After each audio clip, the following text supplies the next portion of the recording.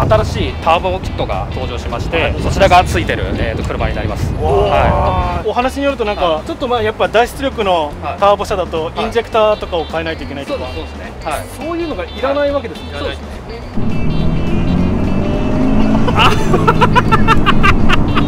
あったな。うわかっこいい音した。超楽しいですこれ。楽しい。やべえな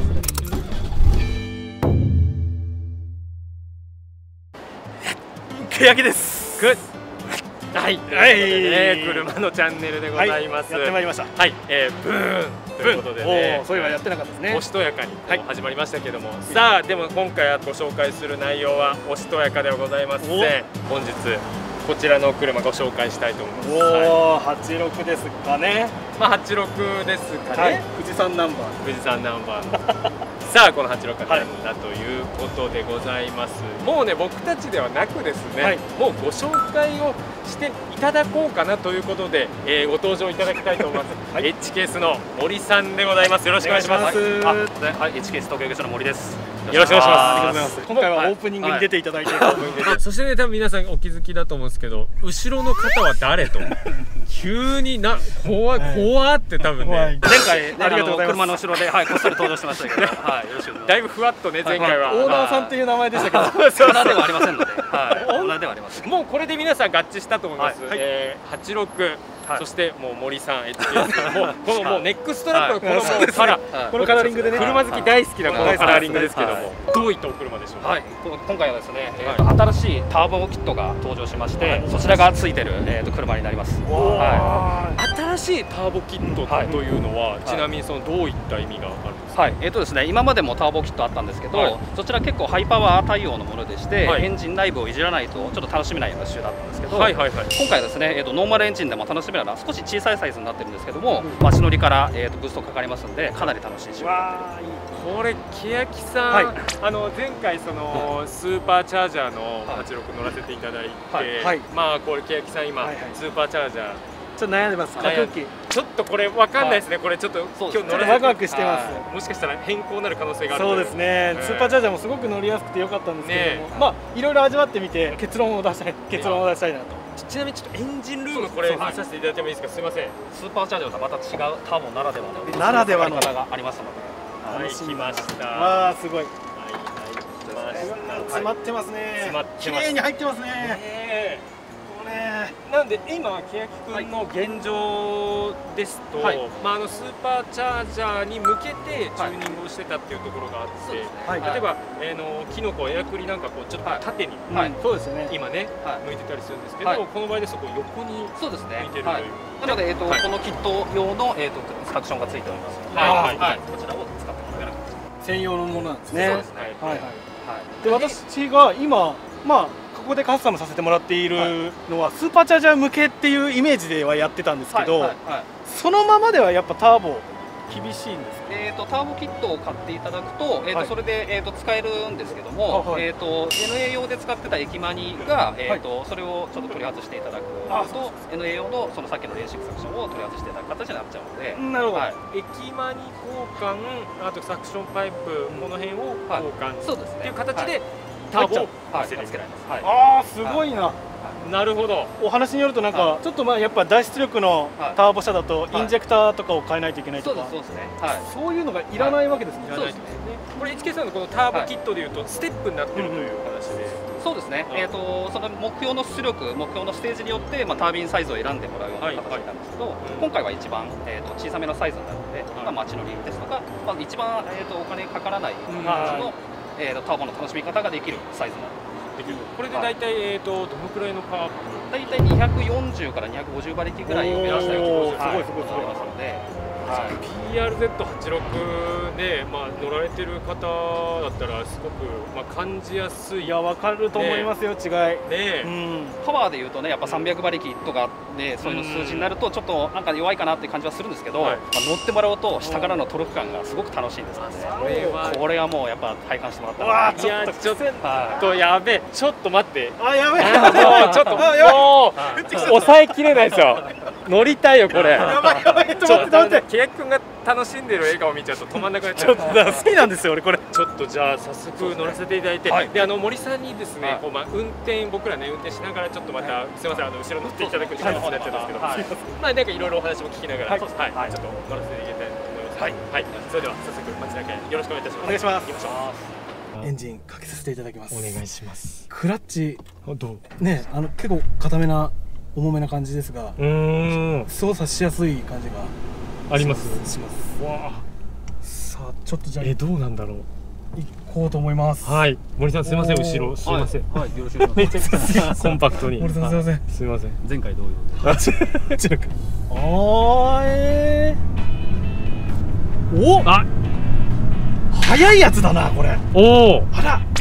ちょっと待ってこの一足のこの伸びやかな感じ。ほう。あ、えもう全然。全然違いますねスーチャーたあもちろん NA に比べてもそうだしスーチャーに比べてもそうだし、うんうんうんうおっん。とこれは回してみたいですねちょっと軽く踏んで踏みます。はい、お願いします。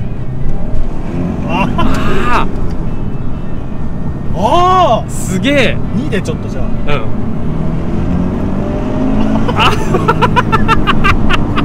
参ったな 参ったなこれ なるほどね。これあ参あ、ったなこれは参ったあな。早い早いうん。これだってこのターボラインナップの中では一番まあ取り付きやすいようなうん。取っつきやすいし一番下のグレードってことですもんねそうですねえ早いなえこれ3速でこれですよああ、これちょっとそういうこと。しかも今の吸気音よ。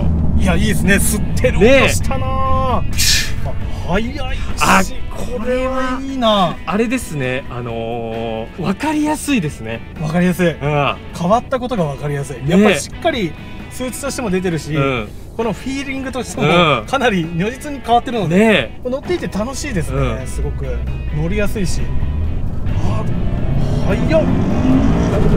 わあ。わあ。これは。え。なるほど。サウンドが。うん。で、やっぱこれは これちょっとなるほどね。かっこいい。憧れちゃうなこの車。あちょっとそういうしかも十分ですねこの街中だったら。十分です。これでいいんですよ。ねあ楽しい。えあららららら楽しいんだけどこれ。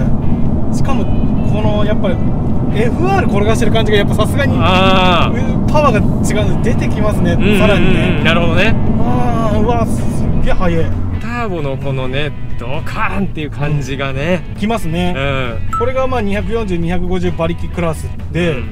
次が280ですよね。そうですね280グラス。で一番上が320ぐらい、えっともう一番上はもうマックスで言うと多分350 50! それぐらいまでは全然ターボは出るんですけど。50ただそこまで出そうとすると、ねはい。エンジンやったりとちょかっと。ミッションやったりとうんかちょっとものすごくお金かかってきちゃういやなるほどなるほど。250でもかなりの感じですよ。ねちょっとゴミさんぜひ。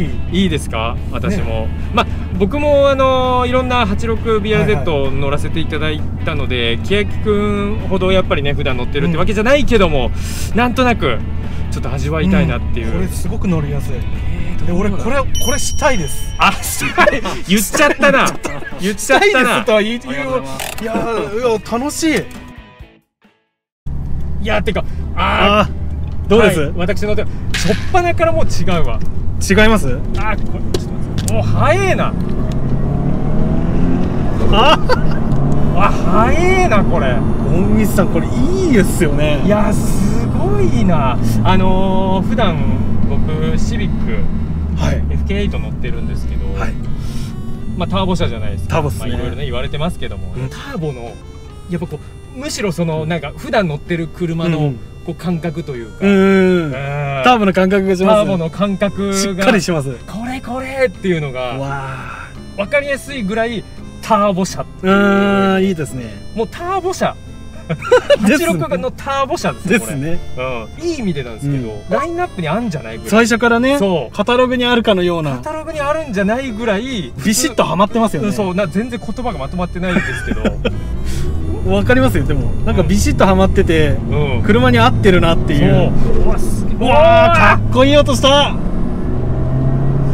おおおえー、ちょっと素人で申し訳ないんですけど、はい、このターボキットつけるとこうやって入るようになるんですか？あそうですね。はい。わお、あこれちょっと待って俺でもさすあの FK8 はこんなブローフサウンド、うん聞こえない。あんまそうよね。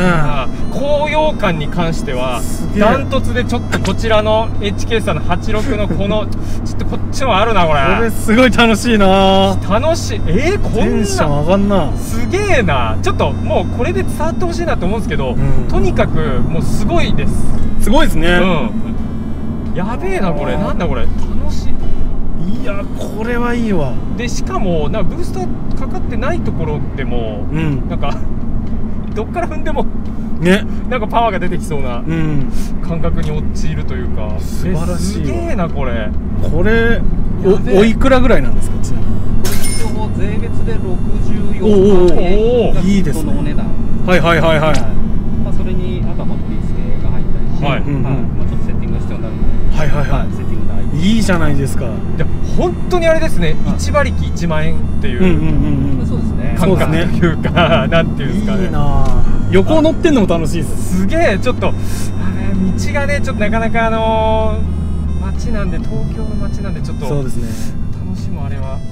でもレスポンシブな感じがすごいわかりますよね。ああちょっと待ってああこれ超楽しくなってんじゃん。86ってもともとすっごい楽しい車じゃないですか、うん、誰にでもこう扱えるスポーツカーっていう意味で、ね、これターボ入れ出したらさらに。やばいぞこれ。マジかえこれ超楽しいですこれ。楽しい。やべえな、ね、私も乗った時おおこれは面白いな。素直に感想で。